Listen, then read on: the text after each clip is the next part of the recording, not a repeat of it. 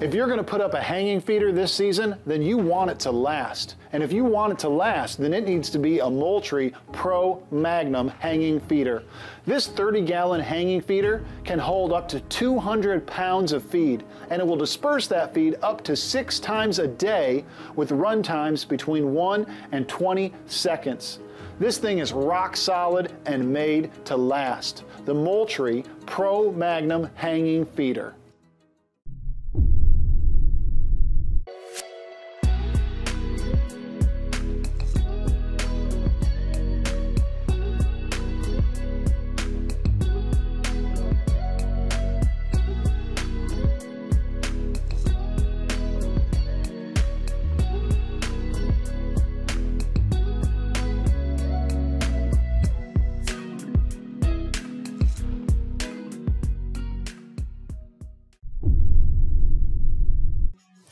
We're out here doing some preseason work. Right now we're working on building our hit list for the year. We want to see what kind of bucks we've got running around, which ones are mature, which ones we want to shoot, and which ones we want to let go. And one of the best ways to do that is to set up feeder stations.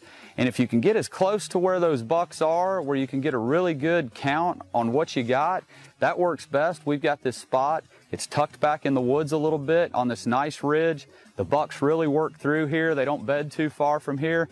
And we brought a new feeder out. It's super portable. We put it right in our backpack.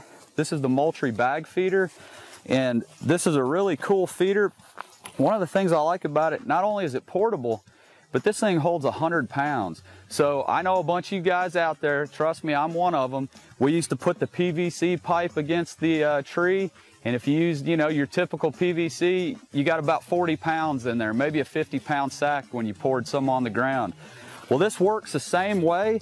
This attaches to the tree. It's got straps on it. It's a gravity style feeder, so you can feed with protein, corn, do whatever you want. It works great for that.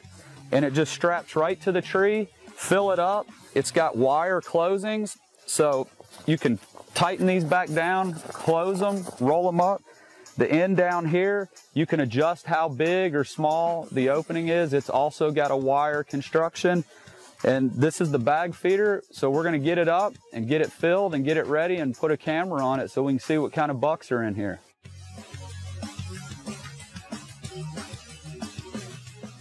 All right, we got our bag feeder up. That took about five minutes to get it up and filled. We've got 100 pounds of feed in here. And one last thing I like to do when I start a new feeder is, you know, this comes out of the box. It's going to have some unnatural scent on it. So I just like to take some scent elimination spray, spray it down real good. You know, this is just going to get deer on it quicker, you know. Don't give them a reason to not want to be around here. So we're just going to spray it, spray the straps down, get behind it. And that's just a little tip to get those deer coming in where they're not as, uh, you know, at least smelling that scent as bad. They're going to be curious about it, but they'll come in quicker and use it faster.